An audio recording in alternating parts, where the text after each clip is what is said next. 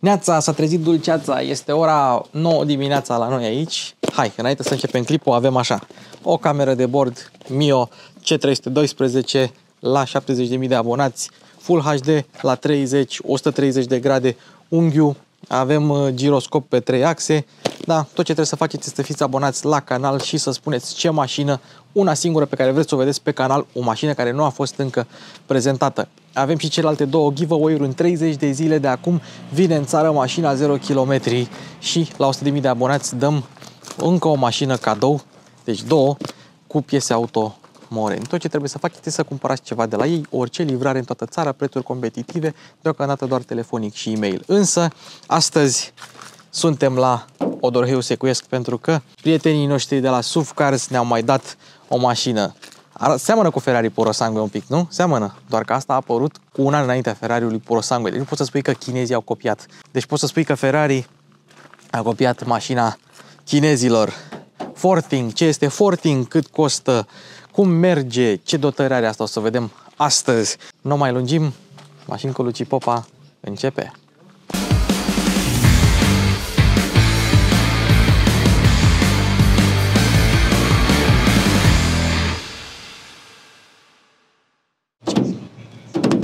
Dar înainte de toate, ai o mașină mai nouă din 2010 și ești din București. Ce poți face cu mașina aia? Păi poți să faci ride sharing.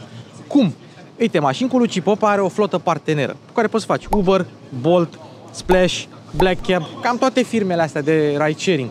Păi bun, și care ar fi avantajele? De ce să vii la noi și nu în altă parte? Simplu, pentru că ai copii conforme și ecusoane gratis, atestatul gratis, comisiuni din net, nu din brut. Colantul se comisionează conform comisionului standard și ai și promoții în flotă. Așa că dacă vrei să faci asta, sună pe Bogdanel la 0784 840 696 sau intră pe www.flotobolt.ro, îți lași numărul de telefon și o să te sune o secretară mișto. Nu uita să spui că vii de la mașini cu Luci Popa și vă garantez eu că merită toți banii. Aolo, mai strigat? Am auzit? Stai mă puțin că stai clipul meu. Du-te, du-te, pleacă-mă de aici. Da? Baftă! Ne-am gândit să filmăm aici, la pensiunea Poarta Secuiască, exact unde suntem cazați, pentru că este un loc cum rar găsești în această zonă, de o frumusețe deosebită. Plus că nu ne deranjează nimeni, este foarte liniște și e ideal pentru, pentru o filmare. Superb. Veniți aici. Fără reclamă, no, hashtag not sponsor, nimic, e efectiv un loc frumos. Forting. Ce Dumnezeu este Forting? Oi, toată lumea aude Dongfeng pentru că Dongfeng face Dacia Spring. Da, simplu. Și există câteva subdiviziuni. Dongfeng Fengon, Dongfeng Sokon și mai multe Dongfenguri. Unul din aceste Dongfenguri este Dongfeng Fengjing. Așa se numește în China. Mașina asta, brandul. Dar pentru Europa și alte locații s-a numit sau s-a schimbat în Forting. Până să apară această mașină, cei de la Dongfeng Fengjing foloseau emblema de Dongfeng. Însă odată cu modelul acesta au schimbat emblema și avem un leu. Deci, Forting este leul chinezesc. Probabil mai puternic decât leul greu al nostru, mai rezistent la inflație. Și T5 Evo este o variantă mai sportivă de la T5. T5 este un SUV compact și T5 Evo este un SUV compact mai sportiv, doar că nu prea au legătură între ele, decât ca și platformă. Design, cum se conduc interior, toate sunt diferite. Deci este un SUV compact pe care cei de la SUV Cars îl vând cu 31.945 de euro cu TVA inclus. Îl găsiți la Cluj, îl găsiți la Odorheu Secuiesc, îl găsiți la Iași, la Mureș, da? la Tulcea, urmează București, urmează Craiova, urmează cam peste tot în țară, urmează Pitești.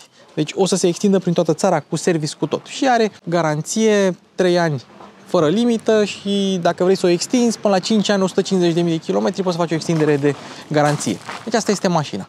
Ferrari Puro Sangue. Dacă îi pui o siglă de Ferrari aici și scrii Puro Sangue pe spate, jur că nu zice nimeni, bă, ăsta nu e Puro Sangue. Bun, începem cu luminile. Scrie Forting aici. Partea asta este doar lumină de zi care se transformă în semnalizare, o să vedem imediat. Fază lungă, fază scurtă, halogen cu lupă, scrie din nou Forting aici. Pe anumite piețe e disponibilă și cu faruri full LED, la noi nu este. Apoi, aici avem semnalizarea care este sus, farul tot aici și cam atât avem pe parte de blocuri optice. Nu avem proiectoare de ceață. În oglindă avem semnalizări cu LED. Iar acum în spate avem banda asta LED care traversează toată lățimea mașinii. Semnalizările sunt dinamice Și acum pune piciorul pe frână, bagă un marșarier, să vedem, deci vedeți, frână și marșarier separat și pune și farurile de ceață. Și jos avem proiectorul de ceață sau farul de ceață, stopul de ceață, lampa de ceață și al treilea stop de frână care e compus din trei elemente LED. Foarte tare. Arată foarte bine din punctul ăsta de vedere. Asta este cheia, fața, spatele, breloc. De aici se desface cheia uh, fizică a mașinii și hai să vedem ce poți face cu ea. Descuia, încuia și deschide portbagajul din cheie. Îl pot și închide, dar mă rog, ăsta era secretul pentru portbagaj. Și mai face ceva, vă arătăm când ajungem acolo. Hai să vorbim acum despre design și despre linia generală a mașinii. Știți cine a desenat mașina?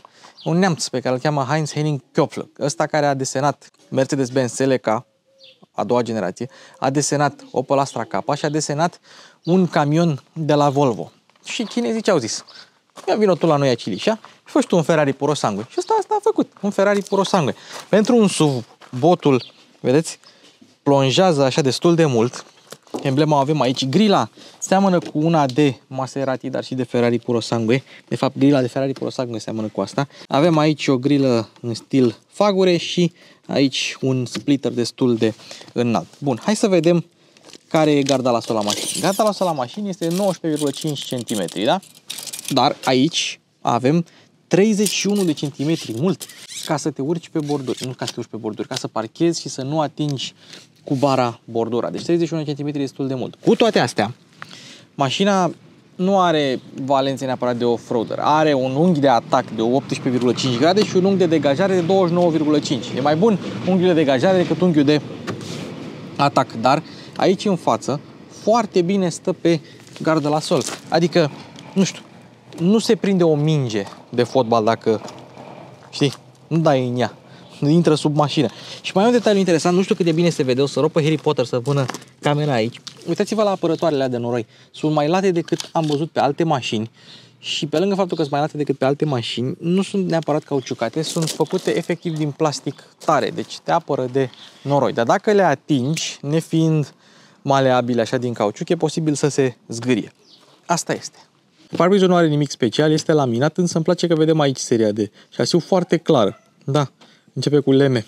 Și observăm că nu avem duze de spălare în ștergătoare, nici nu te aștepta la așa ceva, dar atenție, vedeți, nu poți să ridici ștergătorul. Dacă te blochează un forting, nu-i ridica ștergătoarele. Și încă o chestie, mai țineți minte proprietarul de Hyundai Tucson ce a făcut? A pus aici niște elemente cauciucate ca să nu zgârie țăranii vopseaua când îți ridică ștergătoarele. Sau mă rog, poate tu ești țăranul că blochezi locul de parcare al altuia, dar despre asta vom vorbi altă dată. Da, cam așa. Văd că are protecție aici la carenaje, tot așa din plastic. Suspensia față este McPherson, normal pentru o mașină cu motor amplasat transversal. Avem anvelope, fiți atenți aici, 2315 pe 55 pe 19 cu carne mare, dar sunt Van Lee EV Ranger Sport care sunt anvelope cu rezistență redusă la înaintare făcută, făcute pentru mașinile electrice. De ce? Pentru că început de anul ăsta există și o versiune electrică a acestei mașini. Nu știu dacă cei de la SUV care o să o aducă în uh, România, dar există. Și mai e un detaliu interesant, jantele sunt pe 19 inch, singurele jante pe care le poți avea, discurile sunt ventilate pe față și mașina este doar tracțiune față. Și mai avem apărătoare de noroi și aici în spatele roților. Bravo! Avem mochetă în spate de data asta și o surpriză plăcută, deși mașina nu are tracțiune integrală, suspensia spate este multilink, e independentă multilink. Deci, chinezii nu fac rabat la capitolul suspensii, nu fac rabat la capitolul frâne. Mașina are niște discuri destul de mari pe spate, tot geante de 19, aceleași dimensiuni, la anvelope, aceleași anvelope, nimic greșit aici. Dar îmi place că au suspensie multilink. Mai avem apărătoare de noroi aici și aici apărătoare de pietre, ca să nu arunci cu pietre și să zgâri vopseaua mașinii. Cei de la Forting spun că pentru mașina asta au dezvoltat o vopsea care se vindecă singură la soare, adică microzgârieturile se vindecă de la soare. Hai să vedem cât e stratul de vopsea. Este 0,10 și am verificat așa este pe toată mașina. Și ca să nu uit, vreau să mai spun un lucru. Mașina are un filtru de habitaclu N95, care e un pic mai puternic decât ce primim noi în Europa, pentru că la ei e aerul foarte poluat. Deci, din punctul ăsta de vedere, nu poate fi decât un lucru ok, pentru că și România are aerul destul de poluat și filtrul ăsta e 95, e destul de ok. Are și ionizare de aer și are și senzor din ăla de particule PM2.5. Și acest filtru are și funcția aceea de PM2.5 ca să filtreze particule foarte, foarte, foarte mici. Pentru a îmbunătăți aerodinamica și reduce turbulențele, avem un artificiu din ăsta aerodinamic, așa cum găsim pe foarte multe mașini, inclusiv, nu știu, Toyota să zicem. Oglinda este mare, ar trebui să ofere vizibilitate bună, avem camera, una din cele patru camere pentru sistemul 360 de grade și oglinda este rabatabilă manual. Rear view mirror unfolded. Oglinzile se rabatează electric, nu se rabatează manual. Da? Acum, ea ar trebui să fie încălzită și într-adevăr este, dar este rabatabilă manual. Ușile acoperă pragurile, ceea ce este ok, că mașina este un SUV. Însă avem protecții de plastic, însă ele nu se văd, că sunt acoperite oarecum. Designul mașinii e făcut astfel încât aceste elemente de plastic să fie ascunse și că tu când te uiți la mașină de aici să nu le vezi. Da? Ele se extind aici la interior și avem un dita mai chederu aici, de o grosime nemai întâlnită. Bine, sau poate s-a mai întâlnit, dar n-am mai văzut eu. Și cam așa ușa. Așa se închide o mașină făcută în China aia. Cam așa. Destul de ok. Hai să vedem. Avem keyless, evident. Aha, trebuie să tragi. Ia. Da, e din ăla cu tras, nu e cu senzor. Da, e cu tras. După aia îți recunoaște cheia. Hai să vedem ce mai putem face din cheie. Coboară geamurile, urcă geamurile și să vedem dacă avem și sistem de protecție. Nu avem. Nici în față, nici în... Oh, avem în spate, dar nu avem în față. Și claxonează mașina. Interesant. Hai să mă încercăm o dată. Avem sistem de protecție doar în spate. În față nu avem, că, că în față n-ar trebui să stea copiii. Da. Da, avem doar în spate. Ce tare. Și claxonează mașina ca să spună că există un pericol din, de genul ăsta. Mai avem aici un al treilea geam, care e mai mic în realitate, e undeva cam, cam atât. Da, e făcut pentru design. Să mai mascheze un pic din masivitatea mașinii. Și keyless este doar pe partea șoferului. Asta ca să țineți minte. Am observat că la mașinile chinezești, locul din față, locul șoferului este cel mai important. Singurul care are scaun electric, singurul care are scaun încălzit, singurul care are keyless și singurul care are volan și pedale. Hai să vedem materialele la ușă. Material tare. Observăm că este plastic ce pare cusut. Foarte tare. Nu știu dacă au făcut matriță sau dacă chiar au cusut plasticul, dar cred că e făcut cu matriță. Foarte tare. Apoi, tare, imitație de fibră de carbon, la care poți să cânti. Imitație de piele cu cusături roșii, imitație de piele cu cusături roșii, totul moale, totul moale, totul moale. Apoi trecem înapoi la tare, la tare și buzunarul ăsta este imens. Încape o sticlă de un litru aici și zice, pune doar sticla, nu pune paharul că se varsă. Și evident una din cele șase boxe standard ale mașinii. Deci cam astea sunt, uite și aici e moale, cam așa sunt materialele la această mașină, cel puțin pe față. Hai să vedem în spate, tare, tare, imitație de carbon, la care poți să cânti. Ok, moale, moale, moale, moale, tare din nou și buzunare mari și în spate. Încep să lipsească buzunarele mari din mașinile noi, cel puțin în spate. Da, și am uitat să zic la ambele, aici ai un buzunărel foarte mic, mânerul de unde de așa, este moale. Este moale. Deci, țineți minte acest lucru și aici avem piano black, evident, nu o să atingem cu ciocanul piano black. Atenție la orice mașină, nu contează ce marcă este, piano black se zgârie destul de ușor. Și avem cea loc manual, să nu trebuiască să scoți cheia decât în urgența muririi bateriei. Și scrie și mare loc aici. Și mergem ușor, ușor către spate și observăm aici niște umeri sculptați. Avem eleronul, care este și el decupat. Apropo, antena și cu barele longitudinale sunt în negru lucios contrastant. Avem frumos o lunetă care are într-adevăr dezaburire specială pe partea aia pentru ea. Asta e un lucru bun. Și spatele, nu știu dacă vi se pare vouă că seamănă O combinație de Toyota RAV4 cu Audi Q8. Îmi spuneți voi în comentarii. Și cu Cayenne puțin, zice Harry Potter. Acum, na. De aici ridici haionul. Avem două guri, patru guri de evacuare reale. Amândouă. Toate patru, adică. Ceea ce, un lucru decent, am observat că mașinile chinezești au guri de evacuare reale, nu se închinuie cu falsități, probabil e metalul ceva mai ieftin pe la ei și se vede toba de eșapament acolo. Deci cam așa arată spatele. Spuneți-mi voi cum vi se pare. Și observăm că nu scrie T5 Evo pe mașină, scrie doar Evo. Am uitat eu să zic, dar avem și stropiliciu aici pentru a curăța luneta în eleron. Am mai învățat ceva. Dacă vrei să închizi din cheie, poți să iei mâna de pe cheie, că se închide singură. Dacă apeși încă o dată, nu merge. Ok, deci dacă vrei să-l oprești, nu merge, se închide tot. Dacă îi dai să deschidă, vezi? Poți să iei mâna de pe cheie. Dacă mai apeși o dată pe deschis, se opresc geamurile unde ai nevoie. Și după aia, dacă vrei, coboară de tot. Na, the more you know. Spre deosebire de multe alte mașini chinezești pe care le-am condus, la asta se deschide rezervorul de aici, nu de la o manetă. Benzină, fără plumb și nu poți să pui diesel. Avem 55 de litri, iar producătorul spune un consum de 6,6 litri la 100 de kilometri. Acum, asta rămâne de văzut, da. dar uh, pare un consum destul de bun, dar rămâne de văzut. Avem portbagajul și am lăsat intenționat avariile. Știi ce se întâmplă la alte mașini, nu?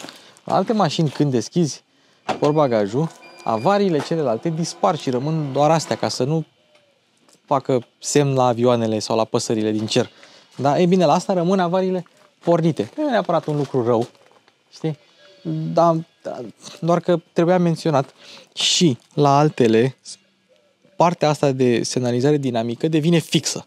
La asta rămâne dinamică. Un detaliu așa funky, fun, știi, de menționat. Hai să vedem portbagajul. 480 de litri, zic cei de la Forting.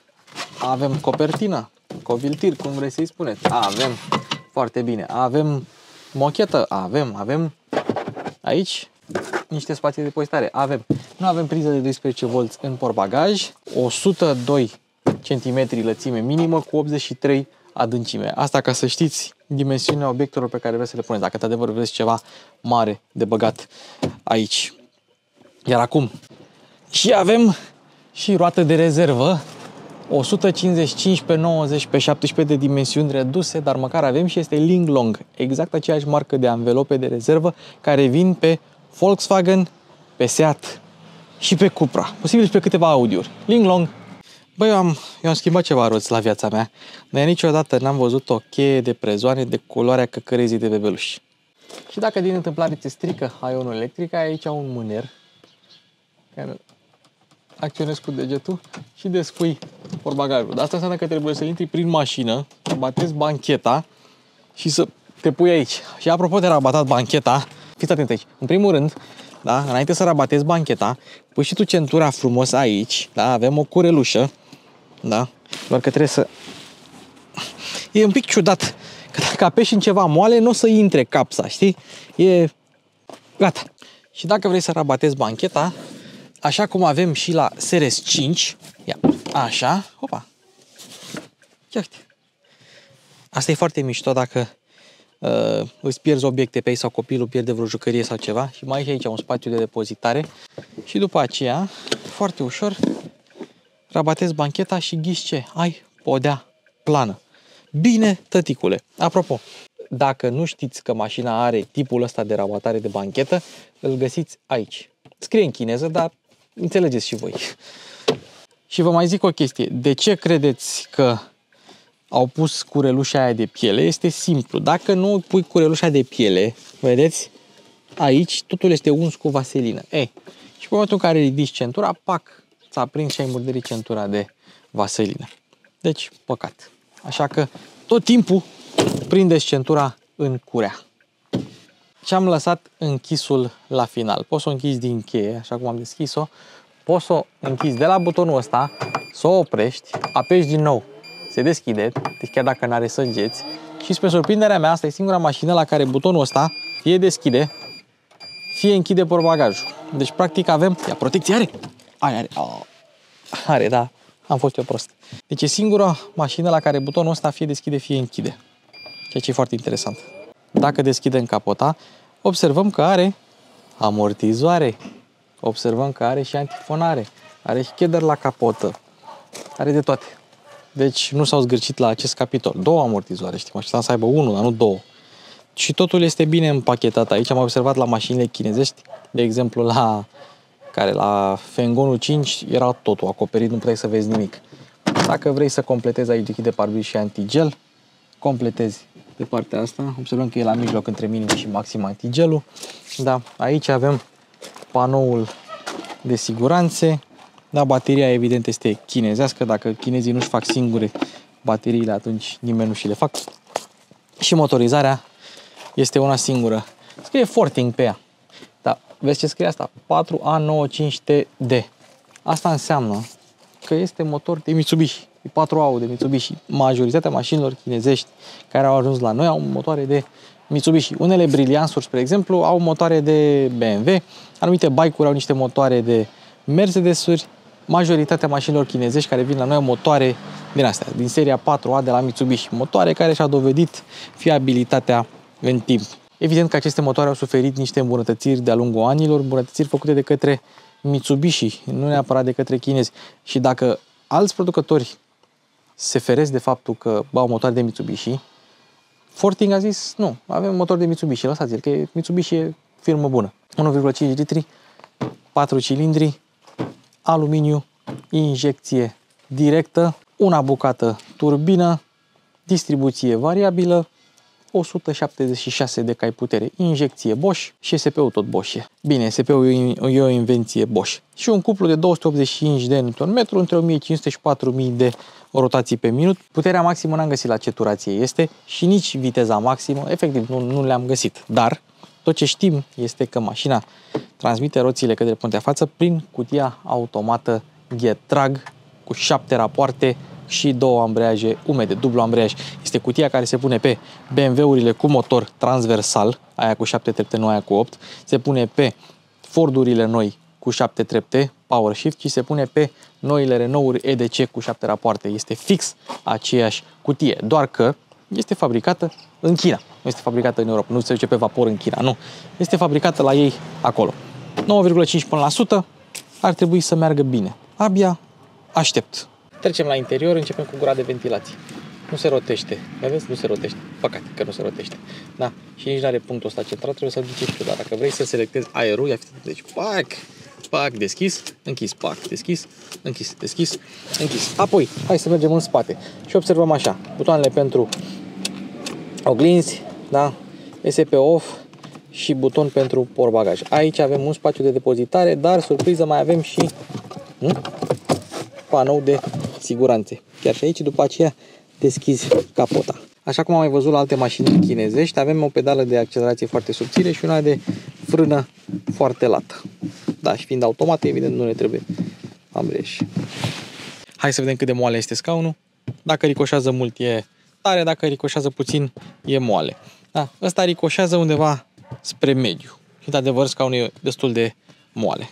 Doar scaunul șoferului este din piele, are cusături roșii, are reglaj electric, se vede? Și e reglaj electric foarte rapid. Așa. Așa se aude reglajul lombar și dacă nu prea se aude cu microfonul, dar dacă ai mașina închisă și e liniște și așa mai departe, se au, auzi cum se desumflă pernițele, se face iese aerul din ele. Dar când îl activezi sau de zitul ăsta. Bun, nu avem memorie, dar îți poți regla destul de ușor poziția la volan, destul de înaltă, deși poți să o faci și joasă. Alt detaliu interesant la scaun este faptul că ai aici un buzunar care este cusut. Da? Este un buzunar cusut și poți să spui ciocănelul sau alte lucruri mici acolo. Am observat că în China mai există și o versiune care are scaun electric și la pasager și acela mai are niște butoane aici. Pasagerii din spate, dacă au nevoie de mai mult loc la picioare, poate să dea scaunul pasagerului ceva mai în față. Și încă un detaliu interesant. Dacă pe exterior la ambele scaune avem piele, și apropo, asta e piele Napa, așa zic cei de la Forting, pe interior avem un material textil ca să nu se uzeze. Se observă, da? Și nu numai că e material textil, dar e o mochetă foarte plăcută la atingere și îți vine să o atingi așa, să o mângâi tot timpul. Da? Scaunul în sine nu are cea mai pronunțată susținere laterală, dar nu pot să spun că e rea. Ei merg pe principiul ăsta de fotoliu. Per total este destul de confortabil. Dar vedem la proba de condus mai multe. Volan. Se reglează pe înălțime, se reglează pe adâncime. Da, deocamdată n-am nimic ce să-i reproșez. E subțirel, piele perforată, cusături, butoane care imită Mercedesul. Aici, da, de aici se prinde, teșit în jos. Ce e important de știut, am mai văzut în viața mea butoane pentru setarea luminozității tabloului de bord pe volan aici. Și aici ar fi trebuit să fie la versiunile care au așa ceva, butonul de tempomat adaptiv menținere de distanță și lane keep assist. În rest avem tempomat normal, avem buton de camere 360 pe volan, ceea ce e foarte mișto, buton programabil și aici ar fi trebuit să fie pentru China butonul de WeChat. Știm că WeChat e un fel de Facebook combinat cu Instagram, combinat cu TikTok, combinat cu WhatsApp, combinat cu Revolut la chinez, combinat cu buletin și permis de conducere și cu carte de muncă și cu certificat de naștere.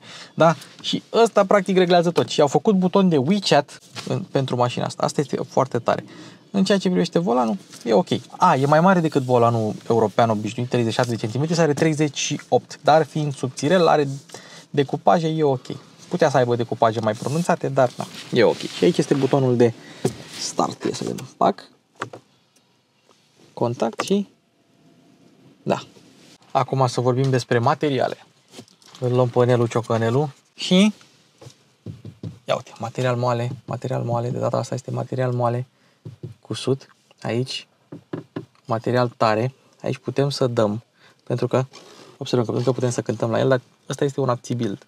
E un plastic normal cu un aptibild deasupra, aici, tare, tare, nu dăm pe piano black, aici moale, au chinuit puțin să pună un pic de piele, doar o dungă de piele pe aici, material tare, moale, moale și evident plafonul ăsta. Acum, astea sunt plastic, să nu vă gândiți că sunt butoane metalice, da? Astea la fel, la climatizare, da?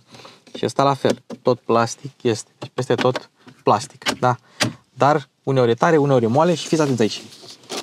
Nu se mișcă și ștableta nu se mișcă. Da. Deci, ok. Nu prea testez eu chestiile astea, dar uite, poți să faci scaunul pat. Știi? Cum voia hotul să facă din fereastră ușă. Așa și eu vreau să fac din, din scaun pat. Foarte mișto. Și dacă tot suntem aici, ia fiți atenți. Deschidem trapa, baby.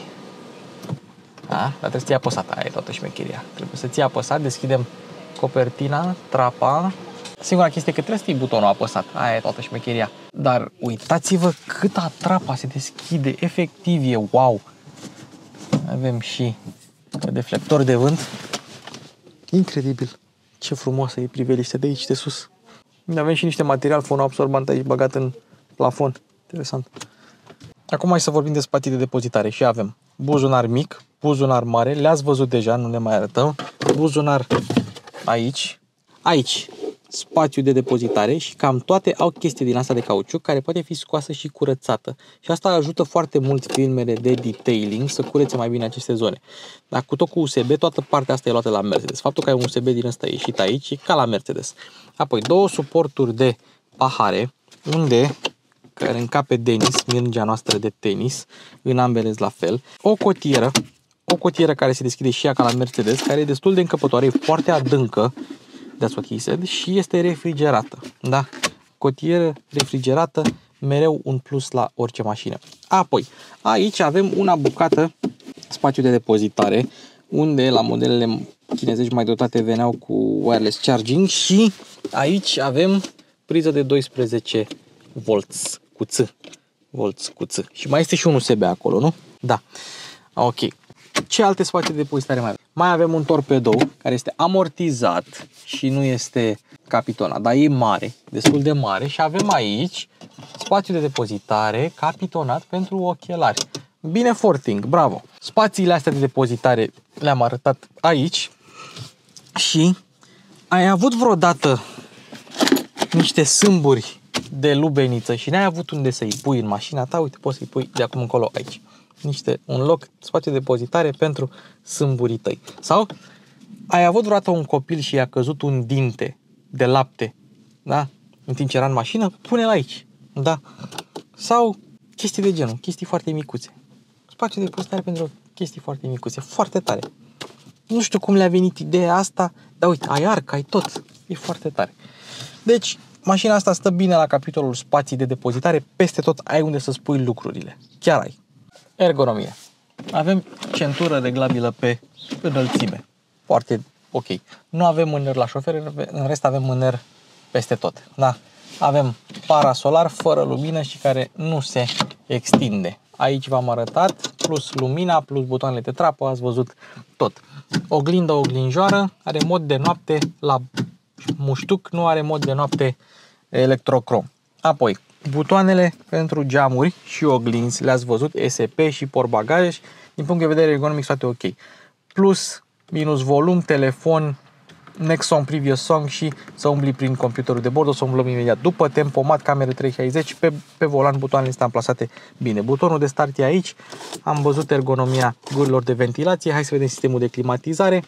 Te gândești că unde sunt valorile. Uite-le aici valorile. Temperatură, climă pe două zone și temperatură. Se observă, da? De fapt, nu știu dacă e pe două zone, că nu cred că poți să reglezi. Ha? Ba da, poți să reglezi. Ha, ce tare! Se reglează la touch. Incredibil! Și tu reglezi temperatura o singură dată.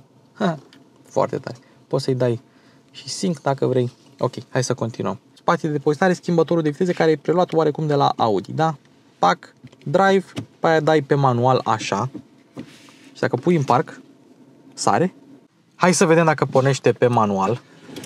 A pornit pe manual, este în parc.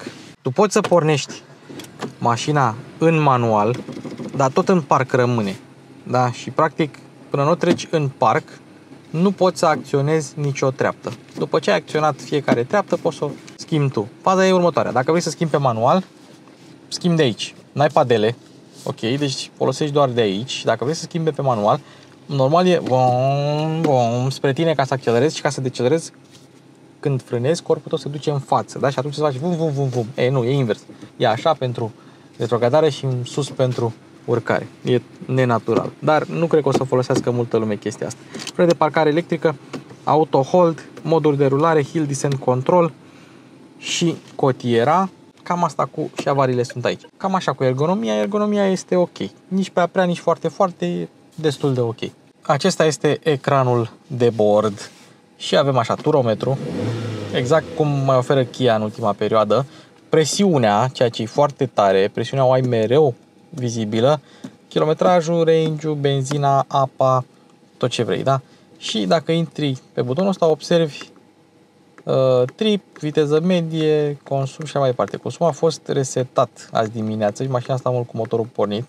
Când am venit eu era consumul 5,7. Mașina a, a fost livrată aici nouă. Ok, deci cam asta este tabloul de bord. Înainte să trecem la sistemul de infotainment. Apropo, două lucruri vreau să menționez. Unu, ecranele sunt amândouă de 10,25 inch. Unul are folie din aia mată, cum vedeți la telefoane, să nu poți să vezi din stânga și din dreapta. Ce înseamnă că pasagerul din dreapta nu poate să vadă neapărat ce viteză are soțul când merge tare, știți? A? Care vă știți cu musca pe căciulă, luați-vă de asta. Și ambele au rezoluție 720p, deci HD ready. Acum hai să trecem la sistemul de infotainment. Începem cu camerele 360 de grade și fiți atenți aici. Deci avem unghi așa, unghi așa, unghi așa, unghi așa. Camere 360, rezoluția este bună.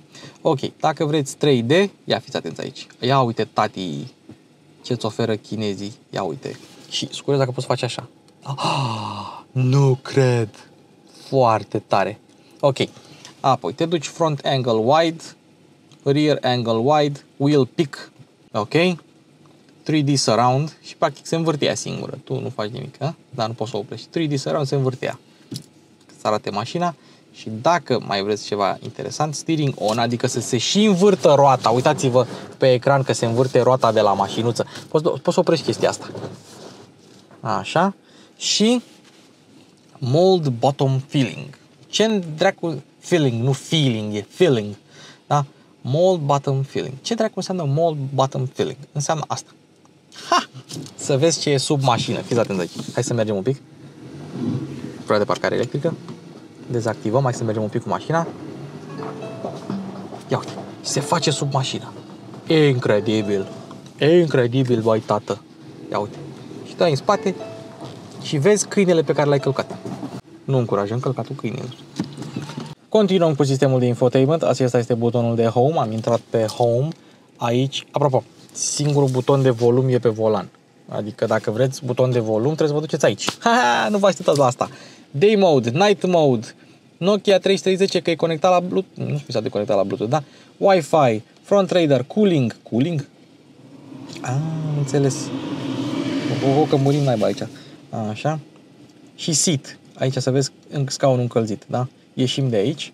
Seat heat, rear view mirror unfolded. Și de aici dai pe mut. Foarte tare. Ia, curios dacă poți să dai swipe. Nu, poți să dai swipe doar de aici. Ah, ce tare cu volum. Bun. Continuăm. Dacă dai de jos în sus, nu se întâmplă nimic. Apoi ai telefon, dar nu-i pasă nimănui. Multimedia, Bluetooth, evident, că nu, nu mai vrea nimeni altceva. Radio, toată lumea știe ce la radio. Aici sunt cele două surprize. Și vă las surpriza cea mai mare la final. Settings. Hai să vedem ce setări avem. Avem setări generale. Display, da. Warning for video playing. Vezi? during driving, ceea ce înseamnă că deja v-am dat un mic spoiler. Poți să vezi video în timp ce mergi la mașina asta. Nu recomandăm, nu încurajăm. Ketone, ia să vedem. Mobile volume și ketone. Ia. Și că e pește care Ok. Sound regulation. Egalizator mi l-am făcut eu cum am vrut. Da, să fie centrat. Ok. Astea sunt setările generale. Time format, automatic timing, language setting, time format 24 de ore. Apoi, conectări. Bluetooth per devices, da, wireless network, poți să faci hotspot, asta e foarte tare. De fapt, poți să faci pot, pot. Poți să te conectezi la hotspot. Lumini ambientale cu luminile ambientale cu culori, evident nu se văd așa bine în timpul zilei, se văd mai bine noaptea. Acum hai să arătăm și ambientalele, că tot am ajuns într-o zonă un pic mai întunecată și putem să schimbăm culoarea după cum ne dorim. Efectiv, putem să schimbăm culorile după cum vrem noi să le schimbăm. Tare.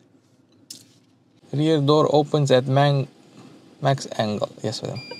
Uite, vezi? Pentru portbagaj.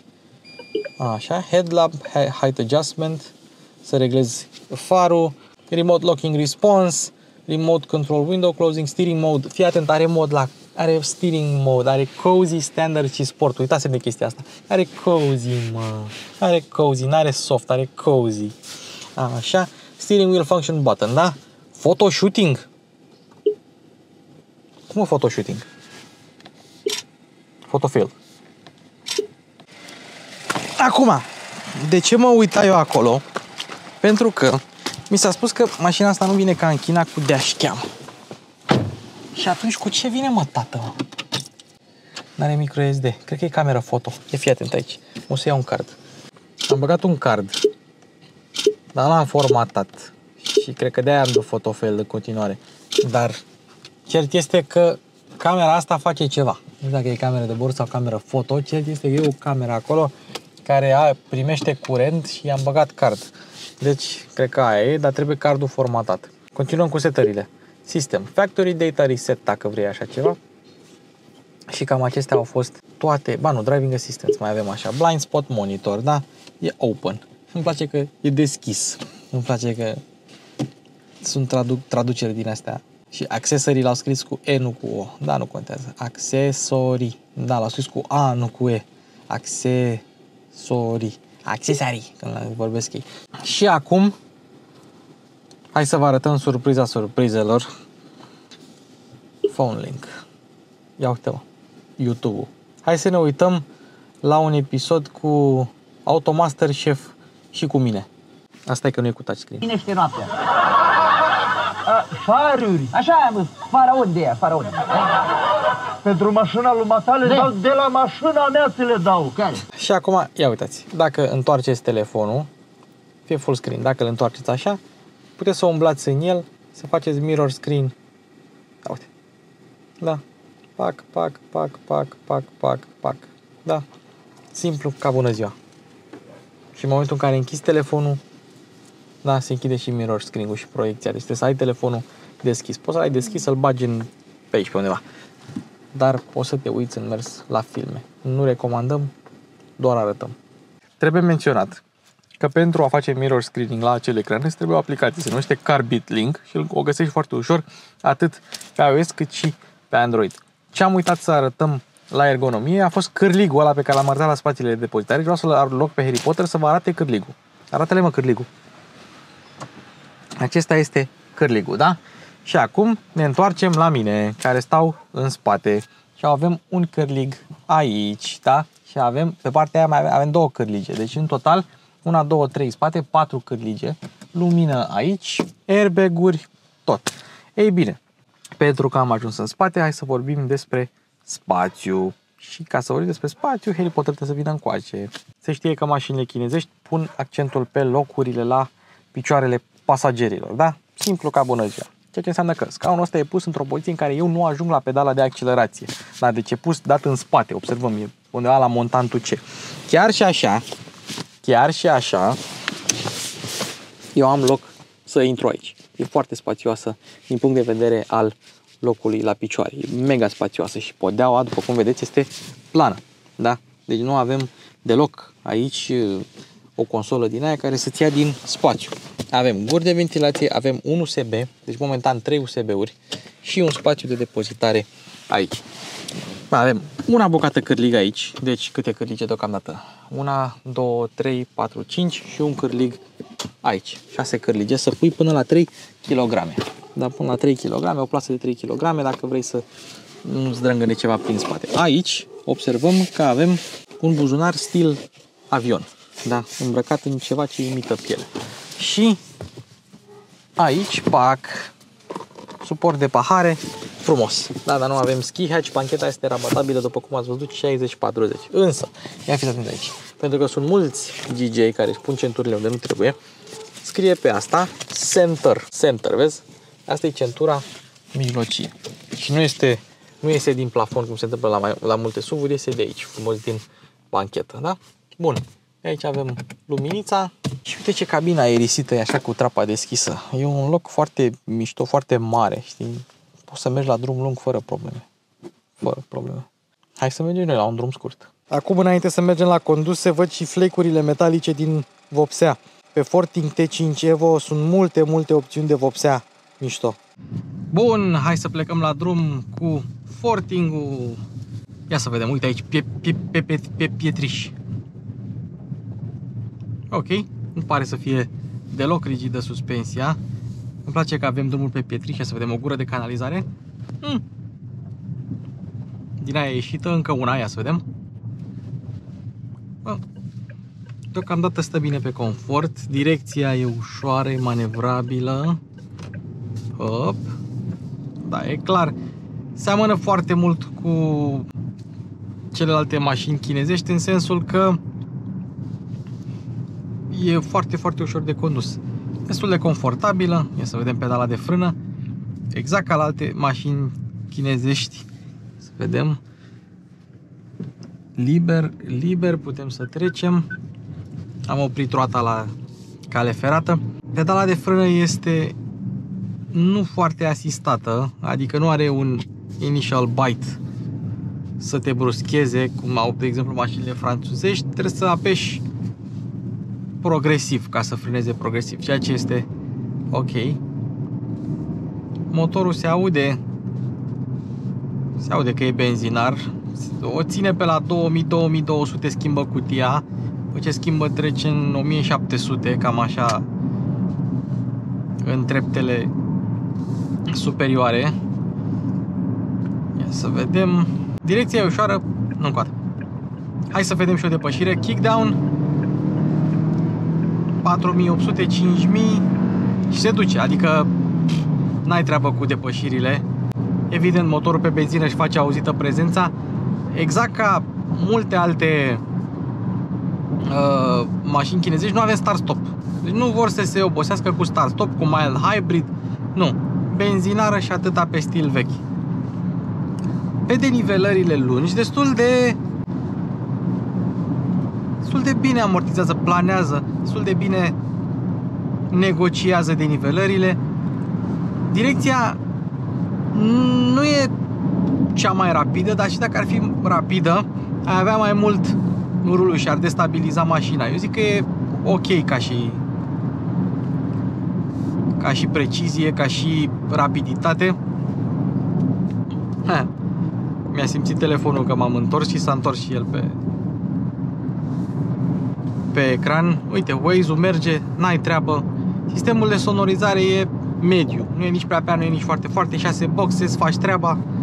Nu e ceva cu care să te lauzi, dar e ok și face treaba. Nu e nimic de firmă. Poziția la volan înaltă, confortabilă, vizibilitatea n-am ce să-i reproșez, poate doar luneta plonjată uh, mai taie un pic din vizibilitate în sensul că dacă ar fi fost verticală, vedeai mai mult. Așa vezi un pic și din plafon, vezi un pic și din uh, ștergător. În rest, n-am nicio problemă cu vizibilitatea. Și montantul ce evident e un pic grosuț acolo, dar așa se întâmplă la majoritatea SUV-urilor. Nu e nimic extraordinar mic nemai văzut. În schimb, vizibilitatea aici all around, în față e bună. Cu oglinzi, cu tot. Ia să vedem. Șina de tren, trebuie să oprim roata la astea. Există trei semne de circulație în România la care trebuie semne de circulație. Trei semne de circulație la care trebuie să oprești roata la mașină. Stop, linie de cale ferată și vamă. Atât. La toate celelalte nu trebuie să oprești. Semne, indicatoare rutiere, nu semafor și alte asemenea, da? Răspunsul la pedală, deci efectiv sunt setate toate în același fel, să fie confortabil. Pedala de accelerație e destul de moale, dar dacă vrei să retrogradeze o treaptă suplimentară, poate să facă mașina lucrul ăsta pentru că are cutie cu dublu ambreiaj răspunde destul de repede. Acum, noi am mers până acum pe modul Eco. Dacă trecem pe normal, se mai îmbunătățește un picuț uh, răspunsul la pedală. Și devine ceva mai agilă. Faza e că poți să mergi într-un ritm, dacă vrei, în ritm ridicat cu mașina asta. Subvirează evident la limită, ia să o trecem pe sport, fiind o mașină cu tracțiune față, grea de bot și uh, cu un centru de greutate înalt, dar poți să iei virajele cu viteze mai mari decât te aștepta. Adică nici cauciucurile astea Vanley nu sunt uh, rele deloc. Mașina chiar e axată pe confort. Super axată pe confort. Acum pe sport, ia să vedem. Suntem pe sport. Dăm kick. O oră, a răspuns rapid. A răspuns rapid, dar tot trebuie să retrogradeze mai multe trepte uh, succesiv. Una, două, trei, știi? Că dublu ambreiajul așa face. Nu retrogradează trei trepte odată, face și după aia pleacă. Da, uite, destul de ok. Adică nu, nu-ți imagina că pleacă ca o electrică din pușcă, dar... Uh, uite și face treaba. Hai să schimbăm pe manual, să vedem cum e pe manual. A doua. Nu-ți da întâia la 30. Hop, a treia, ia, a patra. Patra. Și fii atent aici. Deci, modurile de rulare sunt doar pentru cutie. Acum am înțeles, pentru că dacă ești pe manual nu te lasă să schimbi modurile de rulare. Dacă o treci pe drive, se pune ea în drive automat da, deci modul de rulare e doar pentru cutie. Interesant. Cum de altfel se întâmplă la uh, multe mașini. Nu e ceva wow. Dacă o treci pe sport, pierzi modul de rulare și trebuie să schimbi tu. Ia să vedem. 3, 4. Schimbat 4, 5. A schimbat. Nu auzi foarte mult zgomot la la rulare E decentă ca și antifonare. Peste un Duster, spre exemplu, zic și eu. Hop. Și așa, dacă vrei să mergi, uite, întâia, da, schimbă bine pe manual. Schimbă bine.